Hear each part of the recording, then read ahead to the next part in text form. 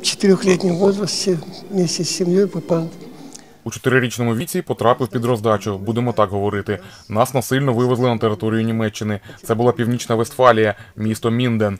Там батьки і моя мама, і старша сестра 29-го року народження залишились працювати на заводі.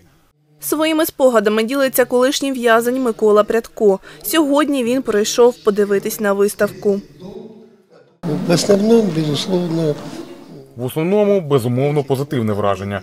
Головна справа, аби ця інформація доходила до більш широкого кола осіб. І хотілося б, щоб нашій категорії приділяли більше уваги. Тріумф людини мешканці України, які пройшли нацистські табори. Так називається виставка інформаційних плакатів. На полотнищах архівні фотографії, документи та історії очевидців. Ця виставка дуже особлива, дуже, дуже людяна, тому що вона розповідає про конкретних людей, про їх конкретні долі. Е, На жаль, у концтаборах були і жінки, і діти. Туди потрапляли і військовополонені, і священники, українські націоналісти, євреї. І сьогодні е, на цій виставці представлені історії е, кожної із цієї груп.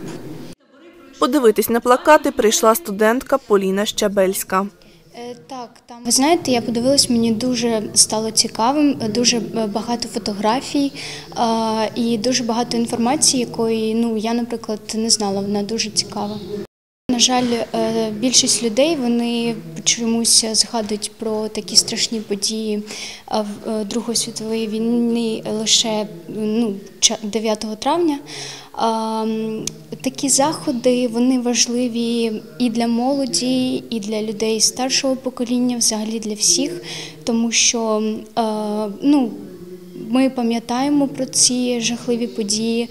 Ми повинні знати нашу історію, історію нашої держави, наше минуле, тому що без цього неможливе наше майбутнє.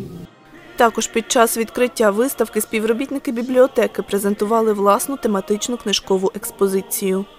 Мені представлені видання е, наших миколаївських дослідників, видання всеукраїнських дослідників. Е, Там є преса, е, статті наукові, історичні дослідження. Саме з цієї теми ви можете на виставці побачити, як сьогодні ведеться робота із відновлення історичної правди. Виставка плакатів триватиме протягом тижня. Після 15 травня її демонструватимуть у районах області. Вікторія Чернявська, Олександр Попов, телевізійні новини Миколаївщини.